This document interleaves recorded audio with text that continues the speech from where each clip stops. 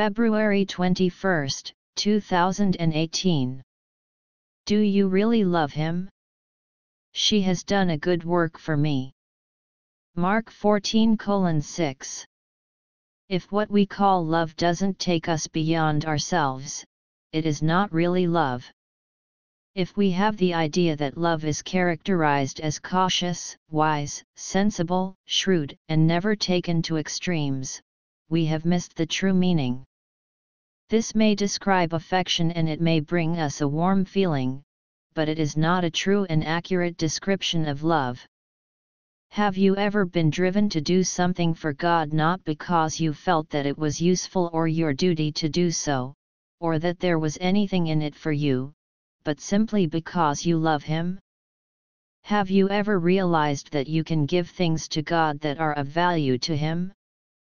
Or are you just sitting around daydreaming about the greatness of His redemption, while neglecting all the things you could be doing for Him?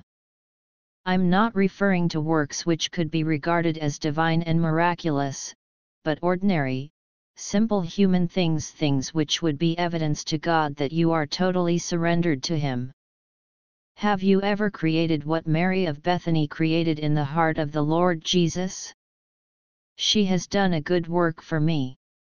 There are times when it seems as if God watches to see if we will give Him even small gifts of surrender, just to show how genuine our love is for Him.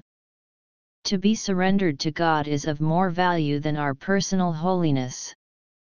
Concern over our personal holiness causes us to focus our eyes on ourselves, and we become overly concerned about the way we walk and talk and look, out of fear of offending God.